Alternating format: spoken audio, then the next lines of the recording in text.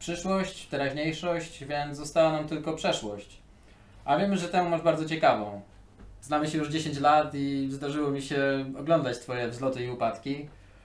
Wzlotów za bardzo nie pamiętam, ale upadków było bardzo dużo i można było o nich nawet książkę napisać. I kto by miał niby napisać tę książkę? No ja.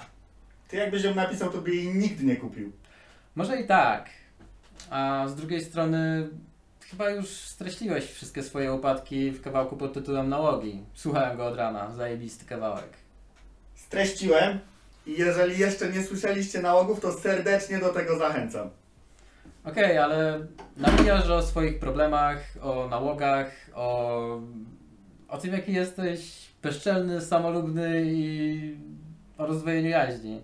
Nie boisz się, że ludzie ocenią cię po okładce, że pomyślą, ej patrzcie, koziołek, matołek, idiota, patus, narcyz, Wiesz, jednym słowem Jarek. to jak ludzie cię odbiorą, zależy tylko i wyłącznie od tego, jak pozwolisz im, żeby cię odebrali.